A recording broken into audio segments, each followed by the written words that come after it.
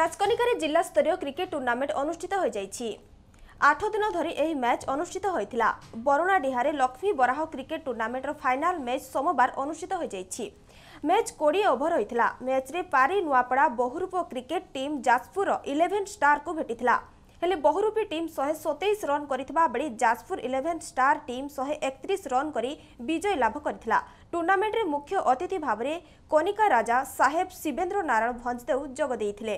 ବିଜୟୀ ଦଳକୁ ଟ୍ରଫି ପ୍ରଦାନ କରିବା ସହ ସେମାନଙ୍କୁ ଉତ୍ସାହିତ କରିଥିଲେ। ଖେଳର ମନୋରଞ୍ଜନ ପାଇଁ ଚିଓର ଗର୍ଲମାନେ ନୃତ୍ୟ ପରିବେଷଣ କରିଥିଲେ। ଟୁର୍ଣ୍ଣାମେଣ୍ଟରେ ପୂର୍ବତନ ବିଧାୟକ ଦଳଗୋବିନ୍ଦ ନାୟକଙ୍କ ସହ ବହୁ ପ୍ରମୁଖ ବ୍ୟକ୍ତି ଉପସ୍ଥିତ ଥିଲେ।